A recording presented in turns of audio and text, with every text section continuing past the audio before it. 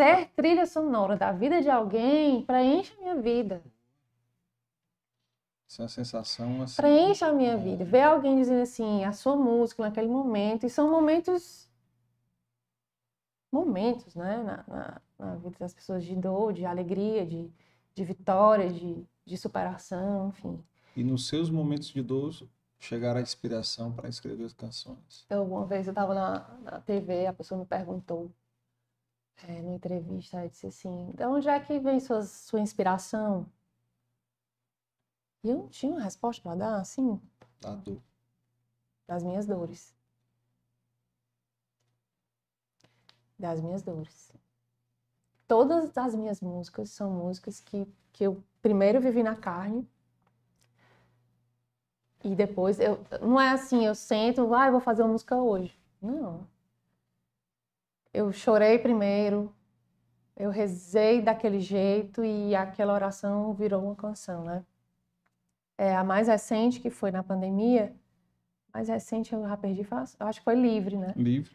Aqui, 2021, né? Livre já foi. é, foi um momento de. de mágoa que eu senti. A mágoa que se instala e que vai necrosando e que vai azedando e a gente vai ficando amargo, vai ficando. sabe? E eu me sentia daquele jeito. É, magoada com as pessoas, afetada, irritadiça, é, me sentindo injustiçada, me sentindo rejeitada. Foi um momento de deserto. De deserto mesmo. E aí, na minha oração, eu disse: Senhor, isso não me pertence. A gente volta para onde? Pro plantio, né? Vamos voltar? Bora? É. Corda? Bora, vamos voltar. Eu não, isso não me pertence, isso não vem de ti. Eu não aguento mais sentir o que eu estou sentindo. Eu não aguento mais sentir raiva, eu não aguento mais sentir nojo, eu não aguento mais. Não aguento mais isso. Essa indiferença, essa. Ai!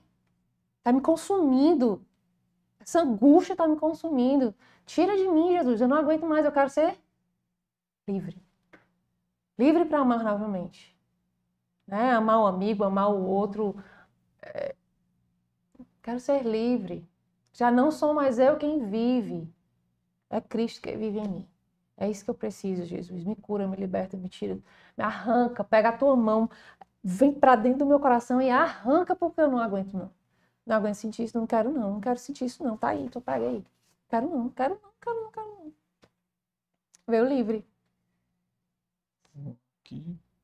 E aí, livre, já, já é, a gente, a gente, eu tinha feito, né?